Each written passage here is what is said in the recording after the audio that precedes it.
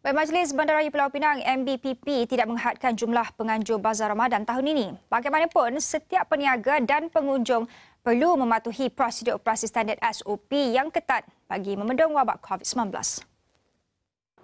Menurut Esko Pulau Pinang, Ahmad Azrizal Tahir, pihaknya melihat kesesuaian lokasi yang dicadangkan untuk Bazar Ramadan terutama dari segi laluan keluar masuk serta kawalan keselamatan.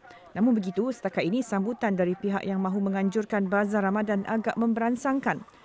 Sehingga kini 14 permohonan diterima sejak ia dibuka mulai Jumaat.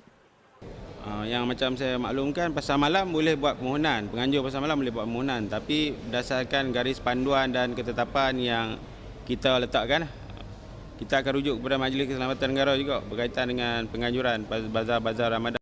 Mengikut prosedur biasa, hanya tiga orang pengendali makanan dibenarkan bagi setiap jenis perniagaan, manakala pengunjung pula perlu menjaga jarak dengan pengunjung lain sekurang-kurangnya satu meter. Semua bazar Ramadan di Pulau Pinang dibenarkan beroperasi dari jam 3 petang hingga 7.30 malam, manakala pasar malam menjelang Aidilfitri dari jam 10 malam hingga 12.30 malam.